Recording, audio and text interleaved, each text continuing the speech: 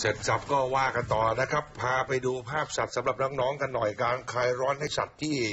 สวนสัตว์สงขลาใช่ไหม ใช่ค่ะ โดยเฉพาะสัตว์ใหญ่อย่างช้างเขาต้องระมัดระวังไม่ให้มันเครียดไม่ให้ตกมันเนี่ยนะคะ ก็นอกจากให้อาหารตามปกติแล้วเจ้าหน้าที่สวนสัตว์ยังต้องฉีดน้ำเพื่อช่วยคลายร้อน แล้วก็เติมน้ำในบ่อเล็กให้ช้างกิน แล้วก็ใช้งวงดูดน้ำขึ้นมาฉีดเล่น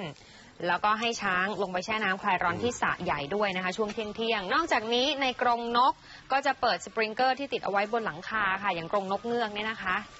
ที่เจ้าช้างก็แสนรู้นะคะเอางวงรับน้ำจากสายยางเลยนี่เล่นน้ำช่วงเที่ยง อย่างที่บอกกรงนกก็ต้องติดสปริงเกอร์เอาไว้บนหลังคาของกรงนะคะ นกเงือกก็บินมาเล่นน้ำเพื่อคลายร้อนค่ะ ตอนนี้ก็ต้องดูแลใกล้ชิดหน่อยสภาพอากาศร้อนจริงไปจังหวัดตราดน้องไบรท์